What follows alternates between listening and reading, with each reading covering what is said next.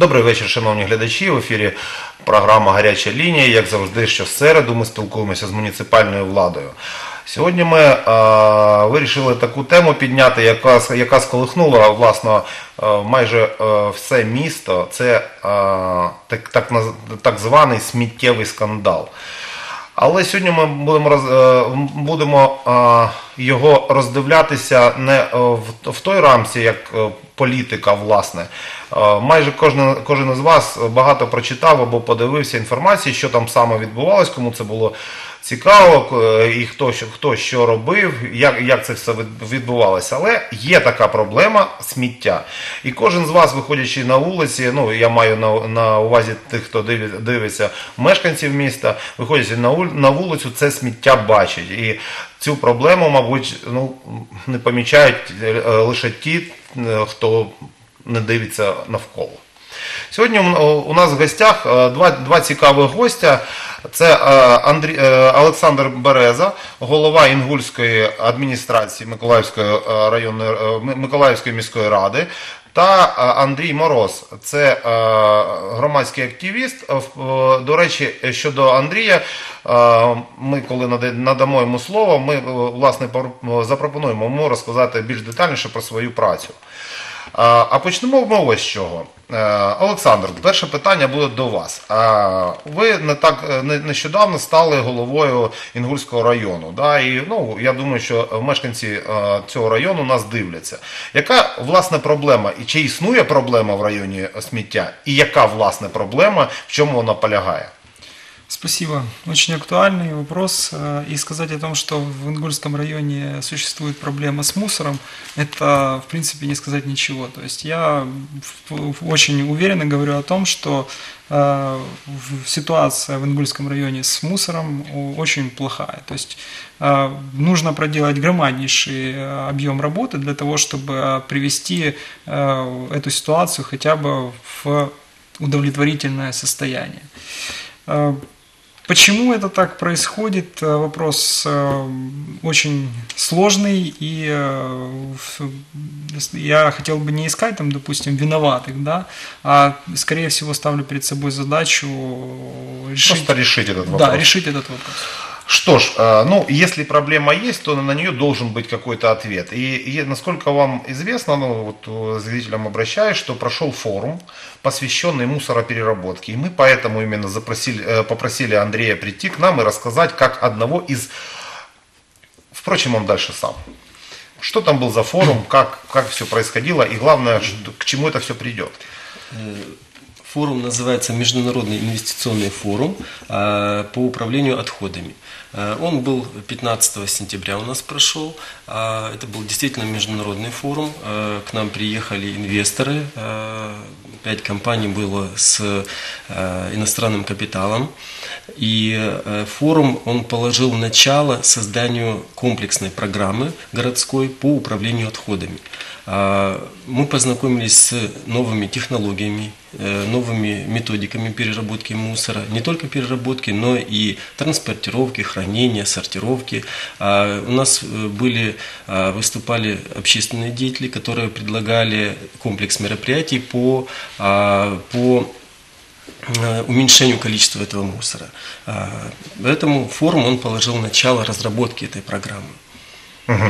Хорошо, Э, тогда у меня сразу, сразу вопрос вот э, к вам, Александр. Александр, скажите, а как- вот какие, по-вашему, вот вы, э, ну, вы сказали, что это большая комплексная проблема, все, что связано с мусором, какие, какие по-вашему, самые большие проблемы сейчас вот, вот для вас э, существуют в районе вот касательно мусора? Что, что вы считаете самым таким вот главным, болючим, требующим решения прямо быстро-быстро? Ну, э, знаете, то есть для того, чтобы найти все-таки ключ к решению к этой проблемы, нужно проследить э, вообще всю цепочку, да, то есть с момента накопления мусора, то есть куда он выносится, в ту- э, состояние того места, в которое он выносится, качество э, вывоза мусора и уже как конечная точка это туда, куда он вывозится в плане его переработки.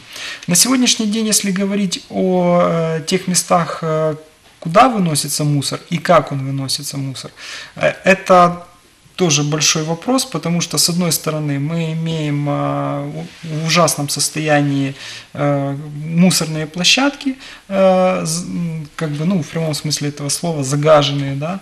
И э, второй вопрос – это само отношение населения к вопросам выноса мусора. То есть мусор бывает очень разный, начиная там, скажем, от каких-то пищевых отход- отходов, которые, в принципе, и должны э, бросаться в мусорные контейнера, заканчивая строительным, банальным строительным мусором, который, в принципе, должен вывозиться самостоятельно теми, кто производит ремонтные работы.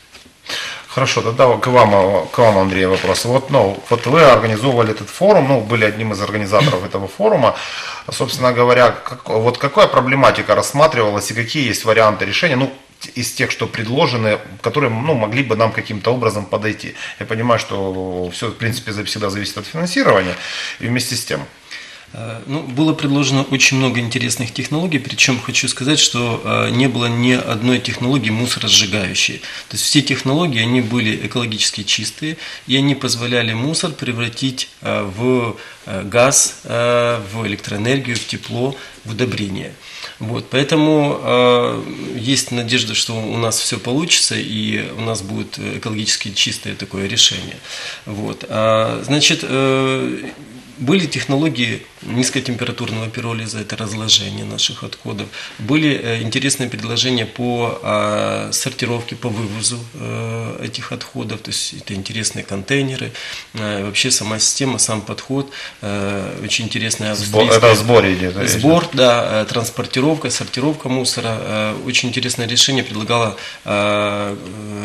представитель австрийской компании АВЕ. У нас в Украине они уже работают. Это интересные э, автомобили, э, белые маны, белоснежные. Э, Это интересные контейнеры э, объемом от 1 метра кубического до э, 100 метров куб- кубических, которые сами прессуют. И много других решений, которые позволяют решить проблему с мусором.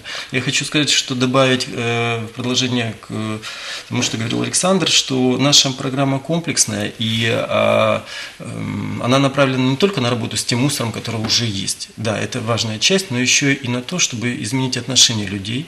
Вот, и она будет предполагать целый ряд образовательных программ.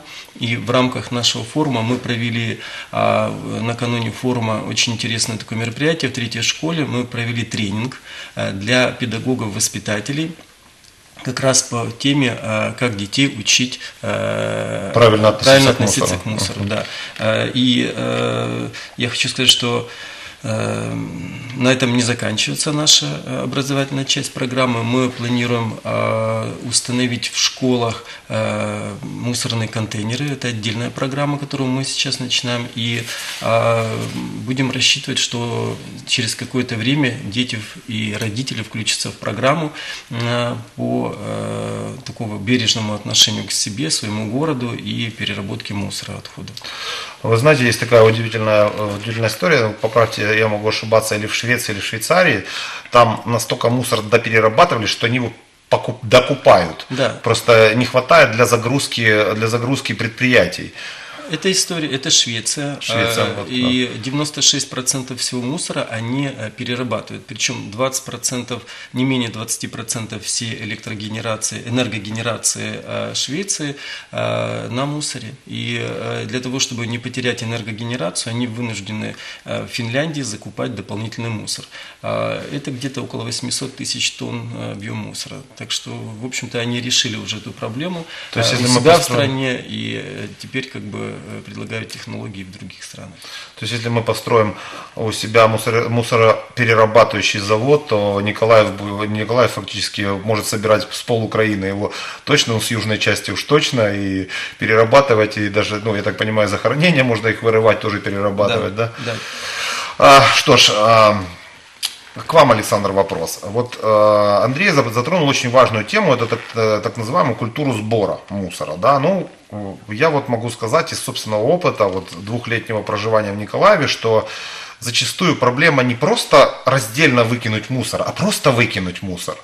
И это чаще всего связано, э, чаще всего связано с бизнесом, потому который вот ты подходишь к магазину, и а мусорки нет. То есть я, насколько понимаю, должны быть какие-то обязательные условия, что если ты открываешь точку, где, э, ну, там, это места массового скопления людей, да, то есть ты должен обеспечить их, ну, мусором, там, если в случае, если это какой-то общепит, то там и санузлом и так далее. Ну, то есть мусор должен быть обязательным. Я уже не говорю о том, что этот мусор, который как-то накапливается этим бизнесом, просто выбрасывается, грубо говоря, в ближайший двор. То есть э, вот как с этим, как с этим быть и как вот вы как э, глава района можете побороть? Да, очень, очень правильно все. На самом деле, то есть вот э, совсем недавно жители Ингульского района могли наблюдать о том, что на остановках по проспекту Богоявленскому, по улице Космонавтов, по проспекту Мира появились э, новые мусорные урны. На остановках э, в большинстве случаев по две штуки. То есть они выглядят гораздо эстетичнее, чем те, которые были до этого, еще, наверное, не побоюсь сказать о том, что это было с советских времен, наверное, такие бетонные. И они очень удобные, они более емкие, во-первых, то есть они очень редко бывают заполнены доверху, и их очень удобно делать выемку. А, Второй вопрос, а, второе, вторая часть вопроса, что касается бизнеса. Да, все верно, и в, в правилах благоустройства записано о том, что при открытии какого-то магазина, ресторана, кафе, всего чего-либо угодно, должен быть организовано э, ну, место, куда будет сбрасываться э, мусор. Но к сожалению, у нас э, вот в районе, да, до недавнего вре- времени многие предприниматели, как бы, в общем-то, не э, Игнорируют. игнорируют эту норму, да, в связи с чем э, буквально неделю назад я, в общем-то, вы- выдал распоряжение, были созда- созданы рабочие группы в составе работников э, администрации, они имеют право привлекать э, также других там экспертов или кого считают нужным.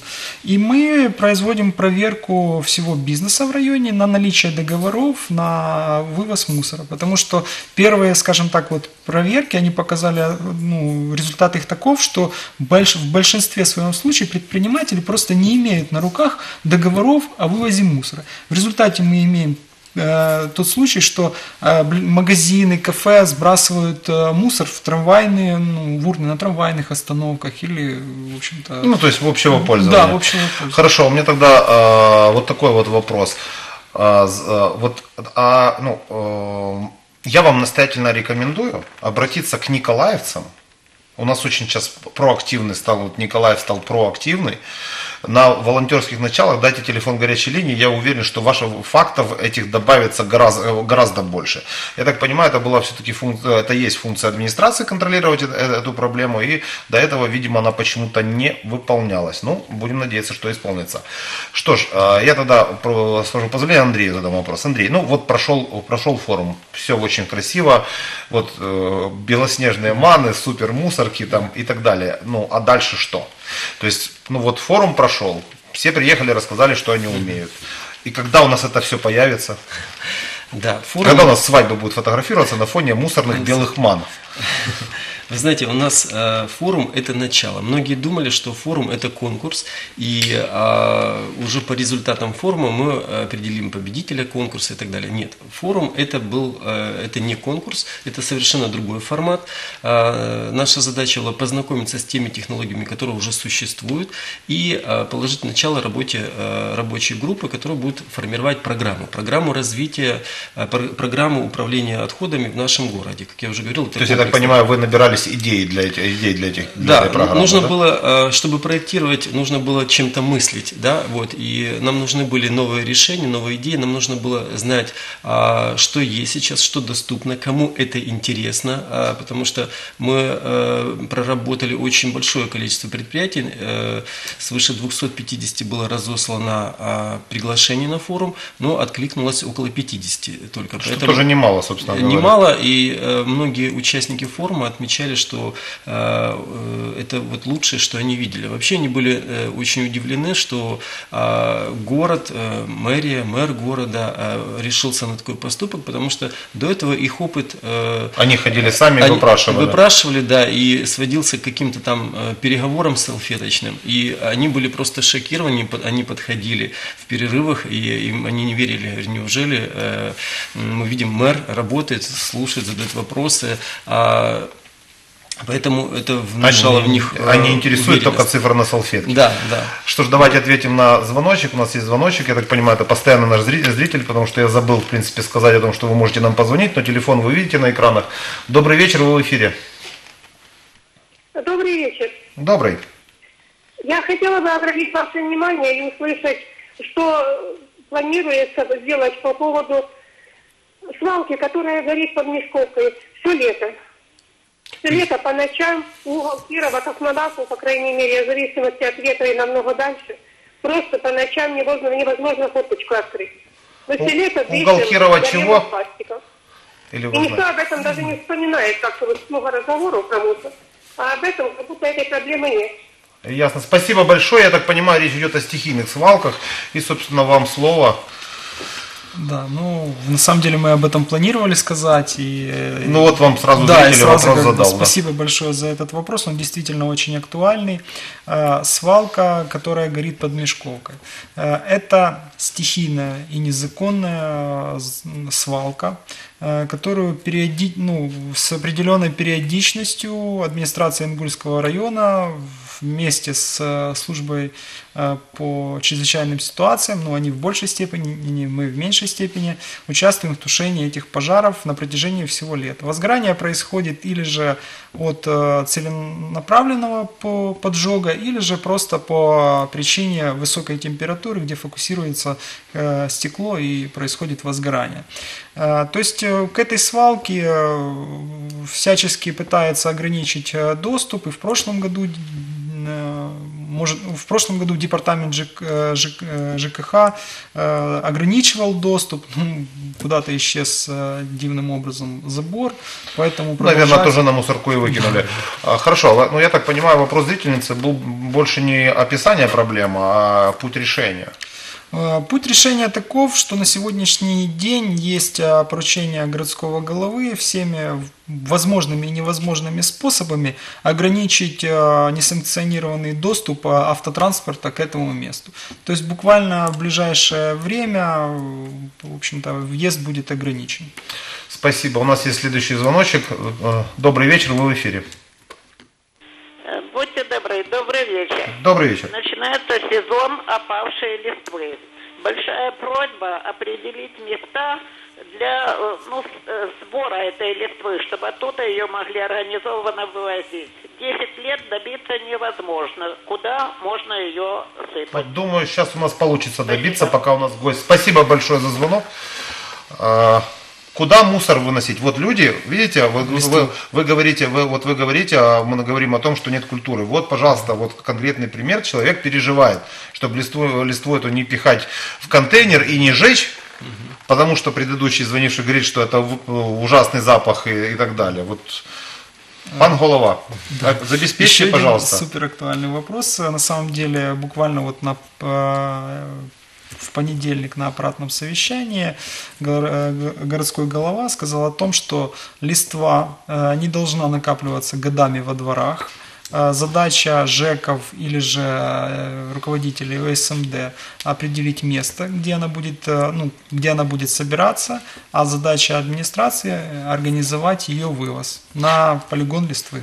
То есть ответ приблизительно такой, что ЖЭК, который вас обслуживает, он должен обозначить это место, и либо вы можете обратиться в ЖЭК, но я думаю, ну, по логике вещей должны где-то это быть как-то обозначено ну, на местности каким-то специальным знаком. Ну, то есть основной момент то, что она не должна, скажем так, отлежать зиму, потом отлежать э, весну, и где-то летом как-то Ну, она... контроль кто будет за этим а, осуществлять? Непосредственно? Санинспекция администрации Ингульского района. Ну, я надеюсь, что э, новый глава с э, креативными подходами сможет обеспечить, что мы не перезимуем на этой листве вместе с собаками, к сожалению. Ну что ж, Андрей, давайте в завершение. Какие у нас следующие шаги и когда нам приблизительно ждать уже какой-то логической развязки ситуации с этим мус- мусороперерабатывающим комплексом, я бы правильно так Да, сказал? да.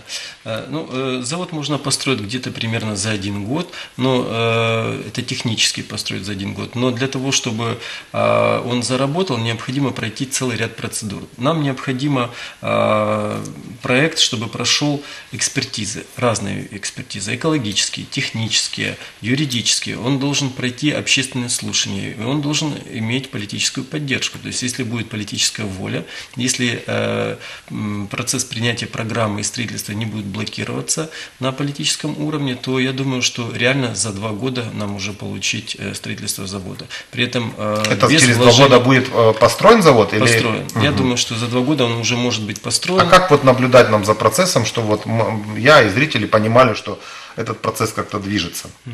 А- Будут ли какие-то еще публичные там, ну, вот, слушания там, того проекта, который приняли, комиссию там? Конечно. Вот, мэр заявил о том, что комиссию формирует. Э, Дело в том, что э, вот особенность нашего проекта и подхода, да, то, что выделяют, это в том, что мы все делаем публично. А, И э, каждый шаг, э, каждое наше заседание, э, комиссии, рабочие группы, э, консультации, совещания, все они э, описываются и э, выкладываются в открытый доступ на страничке нашей в Фейсбуке ВМ Форум 2016. Э, Можно познакомиться со всей нашей деятельностью. А, Мы стараемся их как можно шире освещать.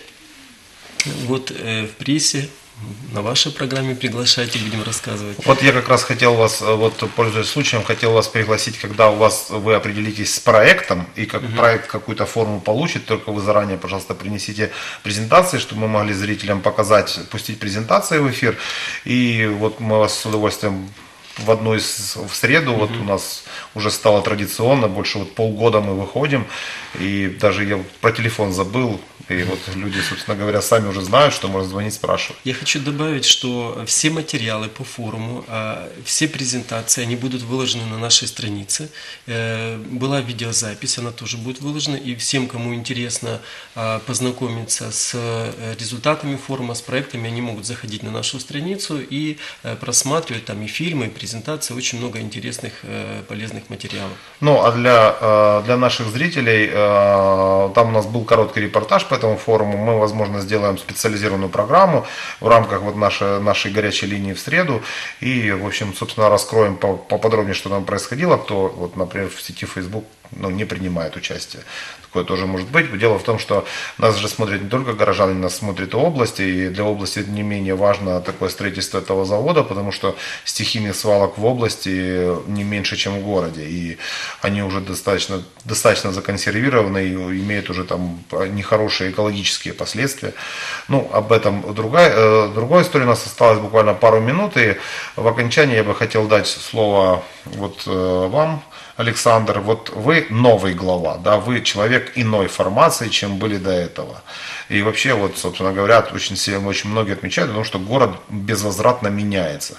Меняется как раз молодыми подходами, новыми, прогрессивными и так далее. Какие у вас ближайшие планы касательно организации или работы администрации? Что вы планируете улучшить, на что обратите особое внимание?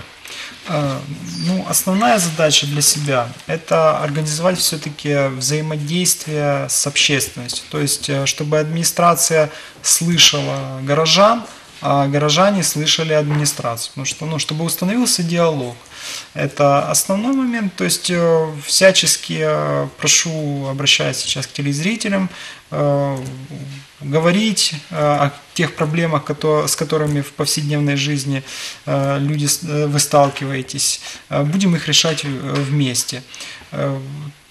Надеюсь, что резуль- результаты будут, они уже сейчас есть. Э, Что касается э, вы- вы- вывоза мусора, то на сегодняшний день реализовывались и реализуются проекты по строительству площадок э, для установки контейнеров. Будем увеличивать темпы, количество, ну и будем приводить наш город в порядок. И по поводу подготовки к зиме, вот очень-очень важный вопрос, потому что нас ждет, возможно, снег, и у нас как-то два года уже традиционно коллапс. В прошлом году было чуть по- получше, в предыдущем было чуть похуже. Готовимся ли мы к зиме? Очень серьезными темпами. Э, Профильным э, замом гл- мэра организована работа. Сейчас все администрации э, города прорабатывают свои маршруты, подверяют технику, подверяют подрядчиков. Э, Элу Автодорог э, разработала в Гугле пока что э, карту маршрута очистки города, оче- очередности магистралей. Работа ведется. Надеюсь, что мы подойдем к зиме подготовленными и во всеоружие. Ну, мы тоже надеемся с нашими зрителями, что у нас э, зима будет более эффективна, а не, не трехдневные коллапсы. Я благодарю наших э, гостей. Спасибо большое, что пришли, о том, что рассказали о той насущной проблеме, которая обсуждалась, была топовая тема номер один на прошлой неделе, хотя, собственно, э, ее актуальность под большим сомнением. А Я, прощаюсь с, вашим, с вами, уважаемые телезрители. До встречи на следующую среду, как всегда, по, по, по средам на связи с муниципальной властью в программе «Горячая линия». До свидания.